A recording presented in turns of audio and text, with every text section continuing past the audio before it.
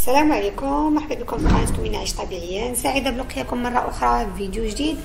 نتمنىكم يا ربي تكونوا دائما كتستمتعوا معنا في قناة التغيير من أجل الرجوع إلى كل ما هو طبيعي بإذن الله. اليوم إن شاء الله نتقاسم معكم جميع التفاصيل لتحضير أشعة المستندات اللي سبق لي يعني تقاسمت معكم التحضير يعني دخلته في مجموعة من التحضيرات. كسلو مثلا اللي هو خليط من الحبوب المستنبته والفواكه والمكسرات أو على شكل مالح آه، في كسكس حساء أو غيره. إن شاء الله غنتعرفوا عليه مجموعين في القناه الشعير المستنبت كان من الأشياء اللي اعتمدت عليها بقوة نظرا لأهميته سواء من ناحية الهضم لأنه سهل الهضم. أو من ناحية يعني العناصر اللي كتكون فيه مركزة لأن الجسم ديالنا كيكون في حاجة يعني ملحة لهذه العناصر القوية. على بركة الله غنبدأو الطريقة وأولها هي بان كنغسلوا الشعير جيدا وكنصفيوهم داك يعني الحجار وداك الشوائب اللي كطفو فوق من الماء كنغسلوه عدة مرات ومن بعدها يعني كنرطبوه أو كنقعوه في الماء. يعني خاص الكمية ديال الماء تكون مهمة بالمقارنة مع كمية الشعير. هنا كتشوفوني كنقعو في في الطين وكنغطيه على الأقل 12 ساعة. في الحالة ديالي نقعتو كنفضل 24 ساعة وبهذه الطريقة كتكون العملية الاستنبات يعني سريعة. إلا كنتو غتنقعوه 24 ساعة من بعد 12 ساعة نبدلو الماء. كنغطيه كما قلت وكنبعدو على الحرارة فقط كنخليه في المطبخ. آه، هنا من بعد ما مرات 24 ساعة صفيتو غسلتو صفيتو. ووضعتو في الطين يعني هذه قصرية ديال الطين بسطو يعني ما خصش يكون مدكس باش العملية ديال الاستنبات تكون يعني سريعة وجيدة ويعني ما تكونش لكم الفطريات. آه وضعتو كما قلت لكم في الطين الطين يعني كيحافظ على الاستنبات كيبغي الرطوبة وشيئا ما من الدفء والطين كيحافظ على هاد يعني كيوفر هاد العوامل هذه آه كنغطيه آه، بالثوب كما غنشوفوا وكنخليه يعني كيستنبت آه هنا خدا لي تقريبا يوم يعني 24 ساعة. كنوضعو فقط في المطبخ وكنغطيه كما غادي تشوفوا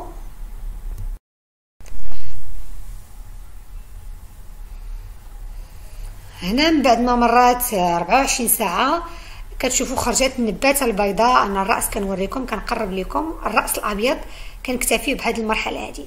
يعني آه لاحظتوا بأن الشعير إلا كانت عندكم يعني المكان عندكم حار الجو حار ولقيتوا الشعير ديالكم ناشف. كتقدروا يعني تبلوه ببعض القطرات من الماء آه فقط آه وكتغطيوه. تقدروا تحتاجوا لهاد يعني هاد الطريقة هذه آه، التبليل ديال الشعير ديالكم يعني واحد جوج مرات ثلاثة المرات. بهاد الطريقة إلا كان الحرارة عندكم جد جد مفرطة وكان غادي ينشف لكم.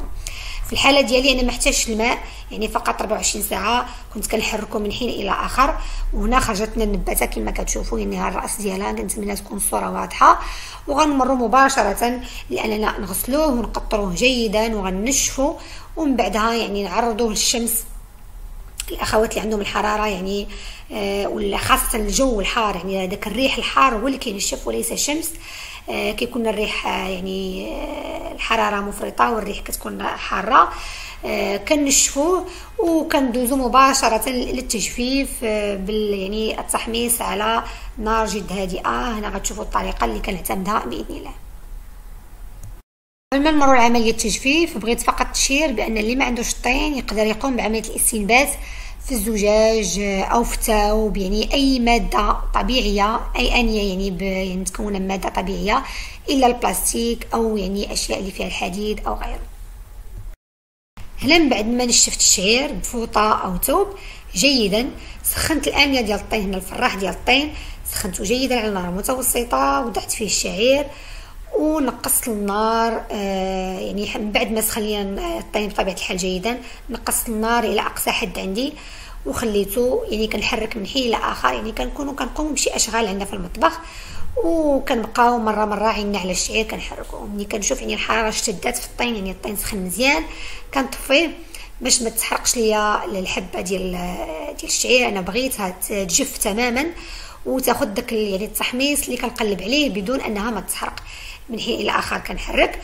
ومنين كيبرد الطين تماما كنقلبوا الحبه حنا غنشوفوها. إلا ما لقيناهاش يعني جفات وتحصلنا على اللون اللي بغينا كنعاودوا نشعلوا الطين. ودائما الشعير كنحتفظوا به في الأنية ديال الطين. آه كنخليوه على نار متوسطة. ملي كنحسوا به سخن كنطفيو النار. وكنبقاو نحركو من حين لاخر هذه العملية مهمة. يعني كتضمن لنا بأن الحبة ديال الشعير كتجف تماما من الداخل من دون ما أنها تحرق من الخارج. حدو الحبه كنوريكم اللون ديالها عندها واحد الصفار جميل. نتمنى يكون واضح لكم. حتى الرائحة ديالو رائعة يعني كنحاولوا نعضوها بسناننا إلا تقسمت دقة واحدة يعني أنها آه، جفت تماما. وحتى الرائحة كت يعني كتخلينا نعرفوا بأن الشعير ديالنا وجد.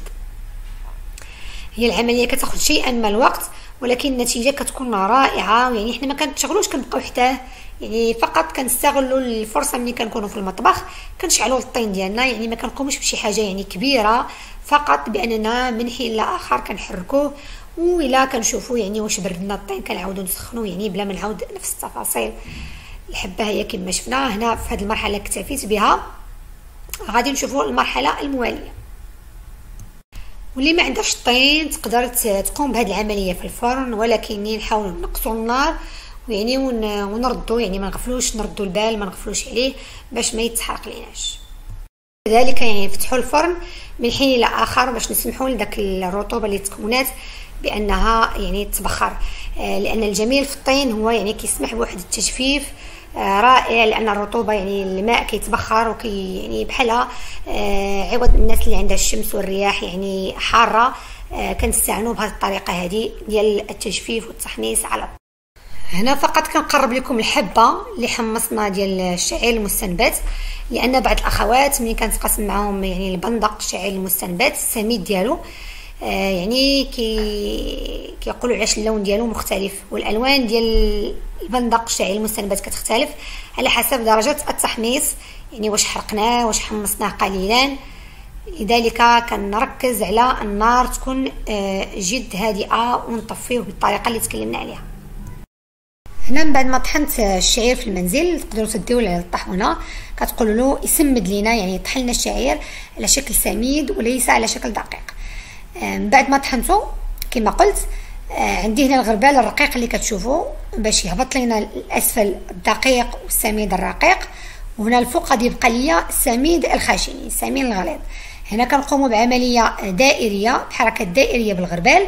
وكنحيدو هاد النخالة هذه اللي كتكون كبيرة غير صالحة للأكل لأنها كتكون غليظة بزاف يعني خشنه كنزولوها يعني بسهولة بالأيدي ديالنا وكنستمروا هكذا يعني كنبقاو الحركه الدائريه حتى كنزولوا داك الشيء يعني الكمية الكبيرة. وهنا كتشوفوا في الأسفل الدقيق والسميد المتوسط. كنبقى بهذه الطريقة يعني باش ما نطولش الفيديو حتى كنحيد جميع النخالة يعني كتبان لي كبيرة يعني هاي أنا غربلت عندي السميده الغليظة. هيا غربلنا في هذا الغربال هذا متوسط. باش تحصلنا على هذه السميدة الرقيقة. كتصلح للحساء وحتى الكسكس. وكنسفوها بهذه الطريقة هذه. يعني كنعرضوها للهواء وكنبقاو نهزو نبقاو نهزو وهذاك هاد النخالة هذه الرقيقة هانتوما لاحظوا أنا كنصب كيقطع عليها في الجوانب. نتمنى يكون كيبان لكم أنا بغيت نوصل لكم الفكرة. يعني كنصفوا بهاد الطريقة هذه بهاد الشكل هذا. خصو يكون تحلوا السرجام ولا ديروا في الهواء. وكتبدا طيح بهاد الشكل هذا تبقاو تقربوا بحال هكا. حتى كنكملوها كاملة كنبقاو نقلبوا وكنبداو نديرو. ها هي كنجمع هنا كلها. هاد القميص هذا هي كتمشي بحال الشكل والريح كيعاونها أكثر.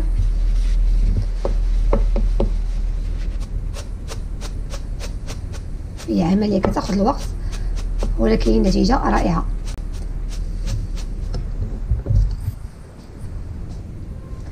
هنا الطحين اللي بقى لنا كذلك غندوزو هنا في هذا الغربل هذا الرقيق هذا. باش نجمعوا داك النخالة الرقيقة اللي كتكون طاحت فيه. وحنا عندنا السميد الرقيق. وعندنا هنا السميد الغليظ هذا اللي غنعاود نطحنو مازال. باش يولي سميد متوسط. هنا كما كتلاحظوا خرجنا من هذا السميد هذا. خرجنا هذا السميد الرقيق فاش غربلنا. طحنا السميد الرقيق هنا.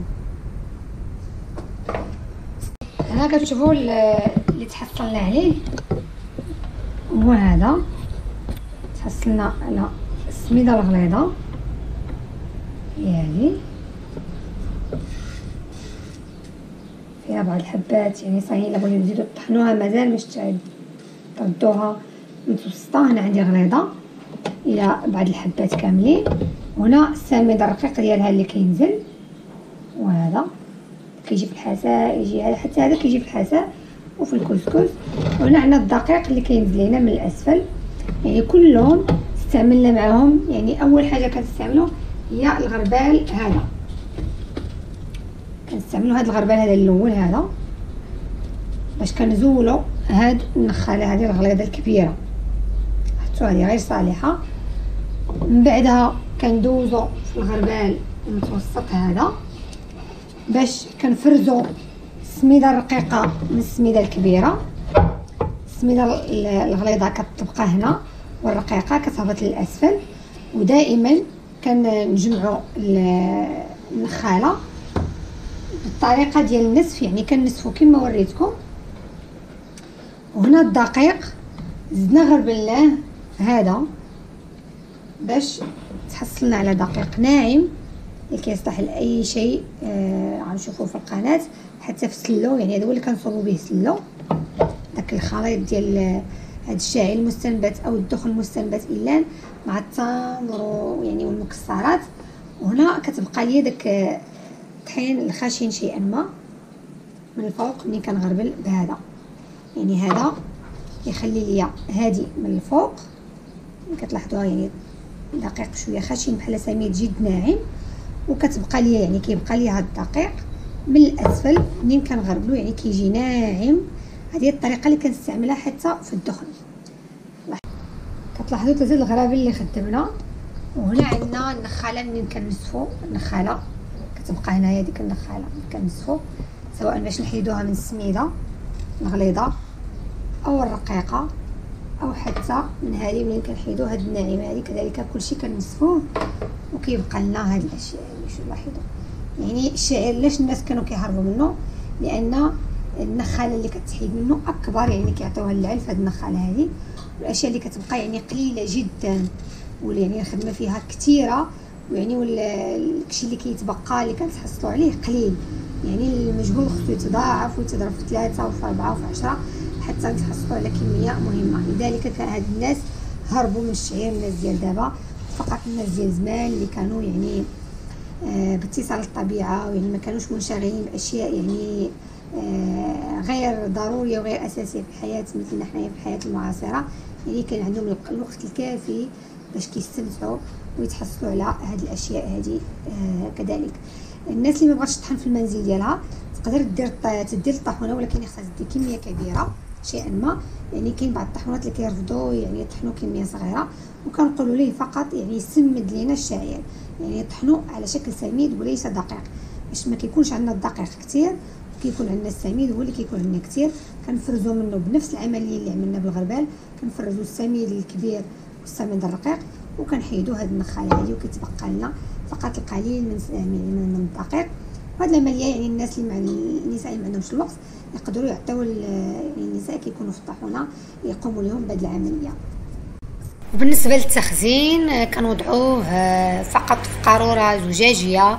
من بعد يعني مع قطعه الملح الناس اللي عندهم يعني آه، رطوبة.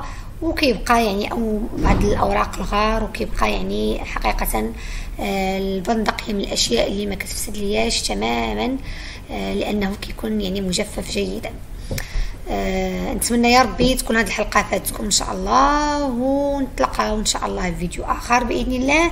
ما تنساوش الشعار ديالنا دائما مع التغيير دائما نعيش طبيعيا والسلام عليكم ورحمة الله تعالى وبركاته.